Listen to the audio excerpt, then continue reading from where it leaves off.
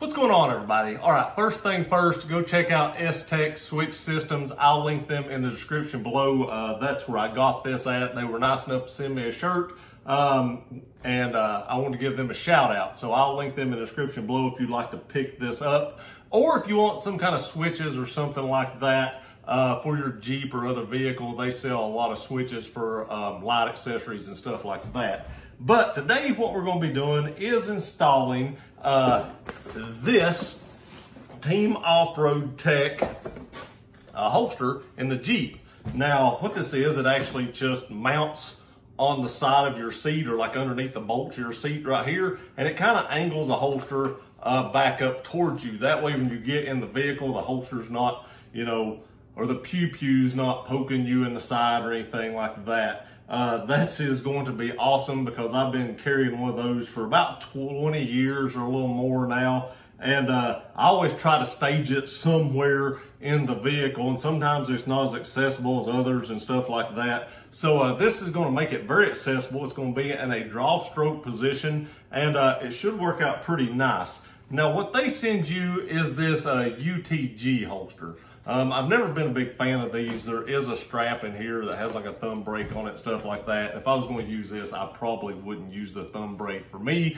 Uh, but in a rollover situation, the thumb break is probably better and it does have like a little mag pouch right here or something. Uh, but you know me and uh, I'm going to make this thing my own and, and, modify it the way I want to. So I reached out to my good friends at Tuxton Tactical and uh, uh, they sent me this which is a holster uh, specifically for what I wanted. It was a Glock 19 with a TLR 7 uh, light availability. Now I did go ahead and put some Velcro here. Uh, this does come with Velcro, but I've actually already cut it and put it on this holster. I put Velcro on the inside because it will mount something like this right here. Now that's not the only way that I am going to mount this holster. I am actually going to drill holes in the metal on the back side that coincide with these holes right here and I'm actually going to screw it in. I'm only going to use two screws that should be enough to hold it in uh, plus the velcro will kind of hold the top. So uh, that's how I'm going to fix it to this metal bar because I knew that the velcro would not be enough. It, it will just pull off even though this is very strong velcro it would just pull off so I'll throw two screws in the probably in the middle holes right here and that should uh, definitely be enough to hold it exactly where I want it. But you can see right here uh, when it's mounted you can see the holster kind of uh, turns back towards you. Uh, not saying that you can't make this work uh, but I prefer to have one specifically for my pew pew and uh, you can't really talk about pew pews on YouTube now. You have to, you know, say that this isn't about such and such a thing before you can monetize it. So that's why I keep calling them pew pews instead of anything else. Uh, so the video doesn't get demonetized. But um, I found that the TLR7 holster actually uh, works with a lot of different, uh, different models and stuff like that. So this is just a good all around that I can use if I'm carrying something other than what this is specifically designed for. I'm not saying you should do that. They don't all fit as snugly as this does. Uh, so if you had a rollover, they could come out. Uh, but uh, I found that these actually um, seem to hold more options. Uh, so uh, I would, like I said, Tuxton Tactical was nice enough to send me this holster. And uh, that's what, how we're going to mount it right now. Now, the first thing that I need to do is actually, let me turn the camera down. All right, the first thing I need to do is actually mark these holes where I need to drill. So I'm going to have to take these screws out right here. And that's just what holds the, uh, the holster together. So we're just going to take these screws out right here, like so.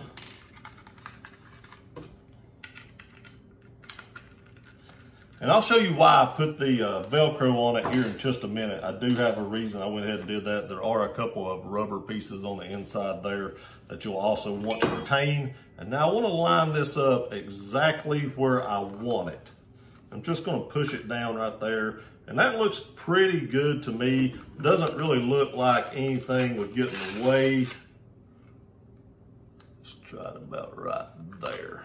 There we go. Doesn't really look like anything's in the way there. And this Velcro, I'm hoping, holds it while I try to pry this open and mark these holes with a silver Sharpie. Okay, let's see if we can do this now. All right, so that looks, let me see if I got this straight. I want to get it as straight as I possibly can, but the Velcro ain't gonna hold it perfect. So you wanna get it as straight as you can, lift this up, kind of go in there like that, mark that hole, mark that hole. Okay, let's see if we got it marked. And there should be where we need to drill. So we should be good with that. So I can't put this back together yet because I'll still need it apart to uh, put the screws in right there. And I do have extra screws just where I've had so many holsters. I do have extra screws to actually uh, install this to this metal bar. So what we're gonna be doing now is uh, going downstairs, uh, hooking this up in a little vise that I bought. I bought it from Lowe's. It wasn't crazy expensive but I needed something to be able to hold this still uh, while I actually drilled it. So I bought a little vise. We're gonna go downstairs, uh, set that vise up and uh, get this thing drilled out and then we should be good to go. Okay, so here's what we got. I got this little vise. I didn't have anywhere good to put it. So I had this little stand that I actually made to um, put my front load washer and dryer on it whenever I had it. So I just screwed this down to that. And then I had a couple of little blocks of wood I come off to stick underneath this to hold it up off of it. And I'm going to start out with a 3 8 bit. And uh, what I'm trying to fit in here, I believe, is this little piece right here. And it looks like it's about the same. So we're just going to drill these holes out and uh, see if that works.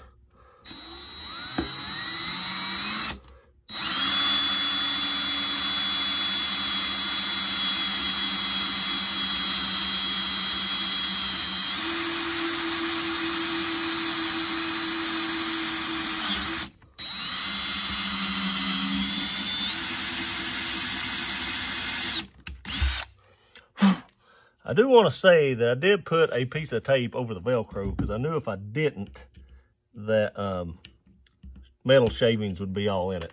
Now, that size hole didn't work, so we're going to go up to a 730 seconds. I wasn't sure what size I needed, uh, but that one wasn't it. So we're going to go up one more size, and we'll keep stepping it up until we get there.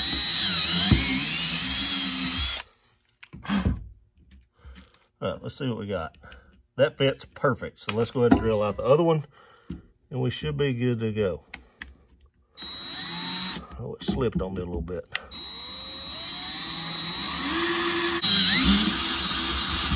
Once you get that pilot hole done, you're in good shape though. And uh, right there you have it. Should be left with those two holes. So let's take you back upstairs and uh, put the holster on here. Okay, so what we're going to, to do now is we're going to have to put this on the outside, right like that right there.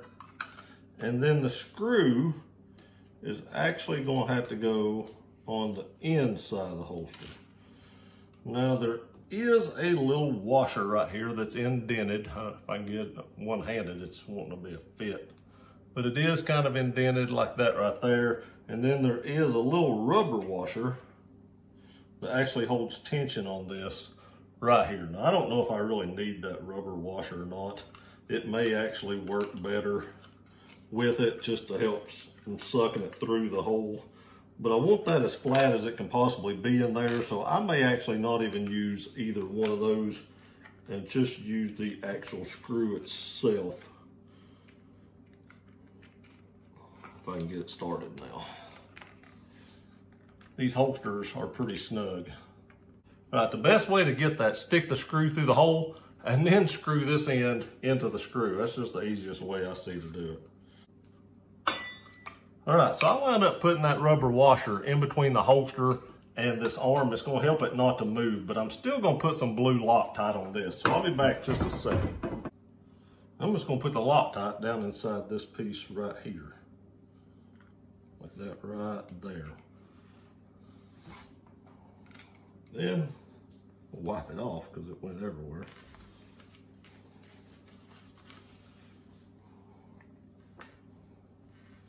I'm going to screw this back down. That way the blue Loctite is getting all over the threads. And before I screw it all the way down, I'm actually going to do the other side as well. And just finish tightening it down. You'll have to pull this open pretty far to tighten these down.